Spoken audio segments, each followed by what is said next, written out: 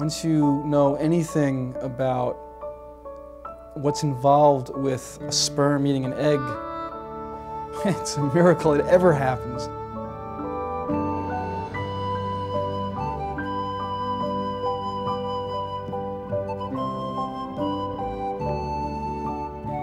A new life, a new beginning, the miracle of childbirth, an event that brings joy to millions. But to others, it's a reality that may never happen. The only thing that was in our mind was trying to have a child.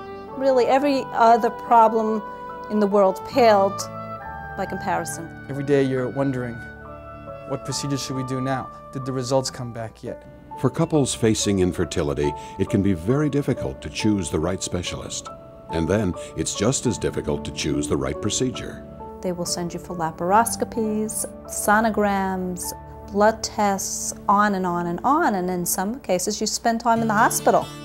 The Institute for Reproductive Medicine and Science was created with the goal of directing and overseeing couples through this very confusing and difficult process, guiding them and providing them with an effective treatment. We really started to try to alleviate the pain of those who are not finding solutions through regular circles. We started to help save couples from unnecessary procedures, unnecessary surgeries, insensitivity. Couples are introduced to some of the world's leading specialists in the field of infertility and are offered the most scientifically and technically advanced procedures, all through one facility. No other place in the world is offering this combination of techniques, especially to help the population where it's severe male infertility. We are helping people that basically have gone through other places, have been either turned down by other places or have gone and not be successful. Dramatic new applications of technology have been developed at the Institute, which draw patients from around the world. When we prepare patients for in vitro fertilizations on a whole, we're talking about success rates that are nearly twice that, that are being published by um, IVF centers around the world. When we started a pretty new technique in the laboratory, there were nine fertilizations. Out of 11, there were nine. New imaging techniques employed at the Institute have already changed the lives of many couples who have been previously told that they were beyond help. Dr. Bruno Lunenfeld, one of the world's most celebrated fertility experts and who is credited with the development of Pergonal, the best known fertility medication, serves the Institute as medical director. What we demand of our staff is motivation. Our medical staff is ready to search, sit on the microscope for eight, ten hours to find that single sperm. There are a lot of couples where you just don't have to do surgery to get sperm out if you just look a little bit more carefully and, and then you save the man an operation. And one of the major roles of the Institute has been to emphasize that and to improve the ways to get sperm out. The way particularly Dr. Fishbein is looking at semen samples, she's been able to identify sperm in a rather hardcore population of males that sperm have never been found before in their lives. And not only has she found sperm in these individuals, but she's able to help them to conceive. And that's phenomenal.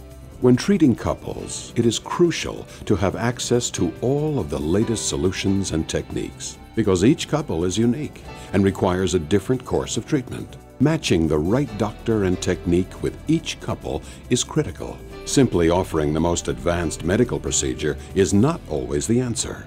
Often, a less complicated procedure can be the key that unlocks a couple's fertility problem that might have been plaguing them for years. Before trying those very sophisticated technologies, we will make an effort to rehabilitate the natural potential of the couple to become parents. Mark and I had already arranged for IVF, in vitro fertilization. He said there are things, specific things, that could be cured that are causing the problem. Many couples remain unaware that some of the most unyielding and stubborn infertility problems are caused by bacterial infection. Dr. Fishbein has been among the leaders in establishing more rigorous testing procedures to detect and cure couples who suffer from these otherwise undetectable chronic infections. I've worked with Dr. Fishbein for many years when I was the uh, chairman of the Department of Infectious Diseases at Mount Sinai. I found her to be a really well-versed scientist and in her field the best she was without peer in New York. He had bacteria in his sperm and he had taken these antibiotics and uh, he took it for a couple weeks, maybe 10 days, and the next month I got pregnant. Almost 10 months later I had a beautiful baby boy, 9 pounds 4 ounces, very he healthy, and we call him our miracle baby. In retrospect, we went through many, many months of fertility treatment that was probably in vain. But I think that he did the best he could. I just don't think he knew about certain procedures.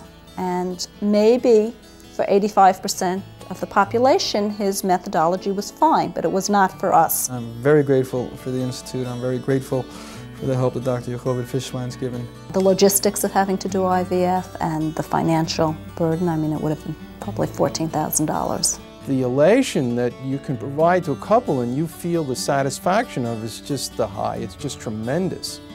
Once they have children, it really helps them to go ahead and, and appreciate their children as, as the gift that they are. It's a privilege, in fact, to be involved in such work.